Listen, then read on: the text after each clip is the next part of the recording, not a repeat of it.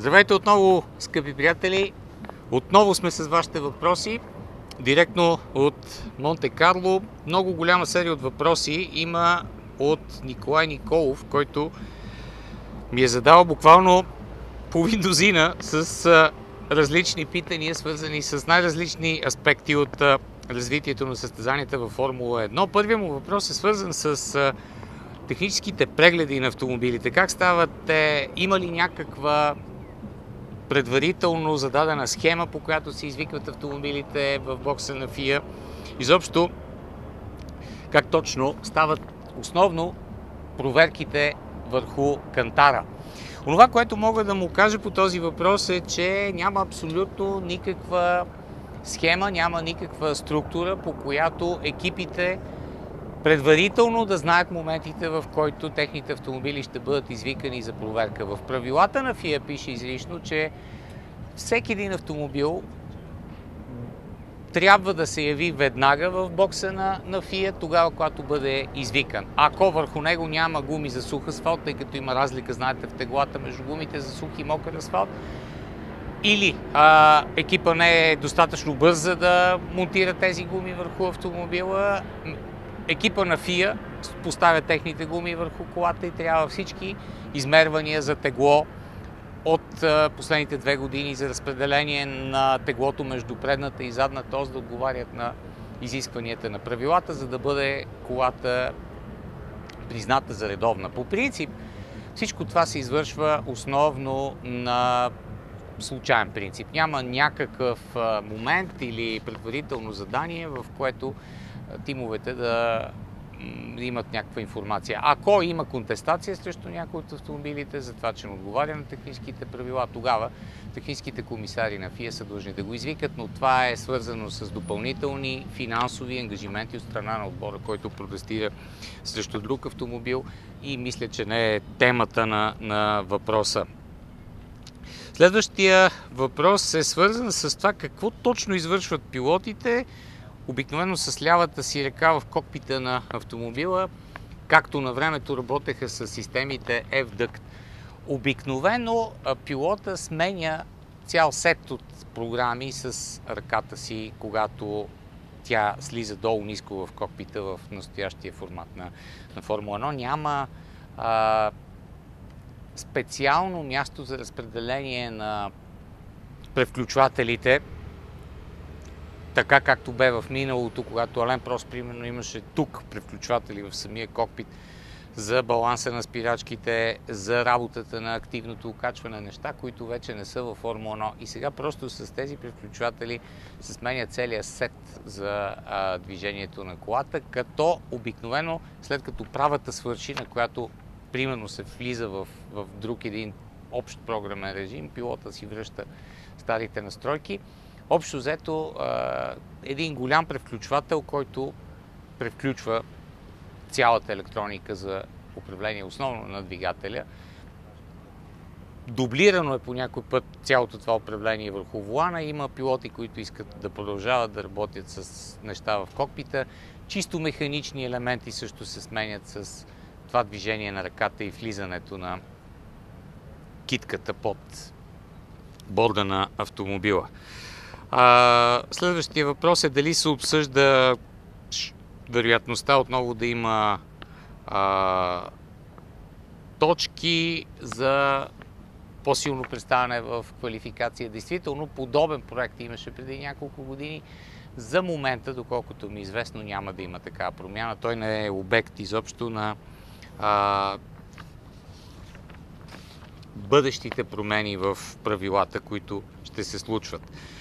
Един въпрос на м- Галин Карлов, който така се интересува и надълго а, е написал какви са така подозренията му относно работата на Мерцедес с екипа на Макларан, при положение, че тима на Мерцедес остава като самостоятелен екип, а Штутгарската компания ще предоставя двигатели на Force India със сигурност. Какви са отношенията изобщо, как ще се предпазят от а, някакъв тип промишлен шпионаж в Штутгарт е въпроса. Изобщо как точно работи един производител на двигатели с един конкретен тим. Мисля, че трябва да коментираме в, в тази тема. Няма страшно. Мисля, че в Мерцедес, в Бриксуорт и в Штутгарт никой не се притеснява особено много от а, това, че от 2015 година Макларен отново ще работи с Хонда. Онова, което получава отбора в момента като информация от страна на производителя на двигатели е цялата необходима информация за него. Теглото на двигателя, разпределението, параметрите, начина по който ще а, работи двигателя като характеристики, за да може всичко останало да бъде напаснато към съответните начини на работа на двигателя. Естествено, когато колата се сглоби и излезе на пистата, винаги има уточнения, но за настоящия етап на развитие, информацията, която има в Макларен е съвършенно коректна и е абсолютно идентична с тази, която има в екипа на Force India, да речем, и в самия тим на Мерцедес.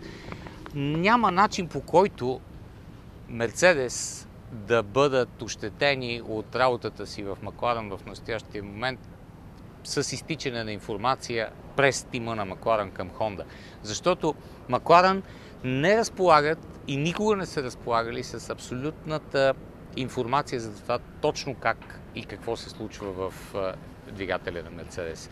Винаги е имало подобни съмнения в миналото, когато един тим преминава от един двигател към друг двигател, но като цяло няма особено големи проблеми. Аз мисля, че в Мерцедес това е а, така последното нещо, от което екипа се а, притеснява. По-скоро те се опитват да направят възможно най-добрия двигател с възможно най-доброто шаси за следващата година. В подобна връзка е и въпроса на Венцислав Адамов, който а, пък се интересува от а, така невъзможността на Макларен да задържа своите топ специалисти във Формула 1, защото с тях си отива значително по-голямо количество ноу-хау. Защо е така, на какво се дължи, много е интересен на този въпрос наистина. А моето лично мнение е, че в Макларан като цяло винаги са се стремяли да не позволяват на своите инженери да стават звезди, а по този начин винаги техните финансови претенции са били малко по-низки от тези на техните колеги в другите отбори. И а, никой няма да забравя преди години още първите ни така опити да направим интервю на времето беше с Джонатан Нил. Все пак ние успяхме да направим това интервю. Но това, което ми обясниха от прес-службата на екипа на, на Макларан още тогава беше именно това, че в Макларан инженерите не бива да дават интервюта и не толкова за това, че ще кажат нещо, което е много а, голяма тайна, а по-скоро защото те не трябва да стават много известни. И каквото и да се случва обаче, те наистина добиват популярност. Пади Лоу в момента нали, е голямото име, което ще премине от техния отбор, ще е поредния голям инженер, който си, си отива. Мисля от друга страна, че вероятно самия начин на работа не прави щастливи инженерите, които смятат, че вече всичко, всичко им е ясно. Защото в Макларан винаги се е работело като екип. Тима винаги е бил едно цяло и много трудно там някой е блестял. Докато в останалите отбори, виждате какво е положението в Red Bull, да, там е Едриан Нюи, но Едриан Нюи е голямата звезда в технически отдел на екипа от Милтън Кинс. Така че това е различна политика, която крайна сметка води до различни резултати. Ще бъдем отново заедно с последната група от вашите въпроси по-късно.